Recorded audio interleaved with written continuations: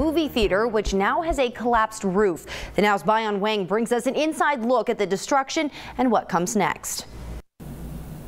Tim and Jess, you are not going to believe me right now, but I am inside the movie theater that collapsed after Friday's 7.1 magnitude earthquake.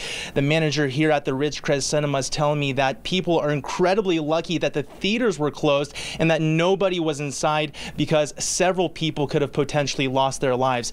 You can see behind me that right here, this is sunlight coming in. This is where people used to be sitting down watching the big screen. Again, the manager is telling me that they are all incredibly lucky. The roof is uh, the roof caved in on it. A closed cinema on a Friday night would be devastating for families in most cities. In Ridgecrest, however, it was a blessing in disguise. They could have got hurt. I mean, obviously, I don't. I I don't know how bad it could have been. A 7.1 magnitude earthquake causing no fatalities is a miracle. The roof of a theater in the Ridgecrest Cinemas collapsing after the second quake touched down.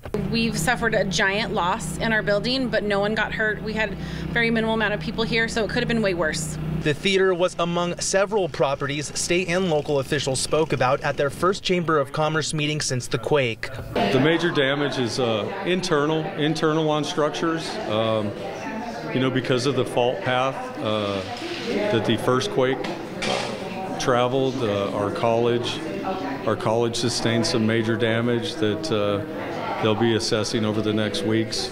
Ridgecrest Police Chief Jed McLaughlin said property assessments are still at the beginning stages, but so far 55 properties have been red tagged and over 500 people are displaced. For Kelly Walden, the centerpiece of the community is one of the biggest losses.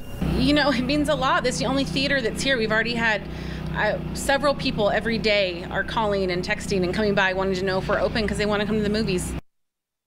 And city inspectors have been in and out of this building all day. The police chief uh, saying that this property has been red tagged, meaning it's no longer safe to occupy. I mean, obviously.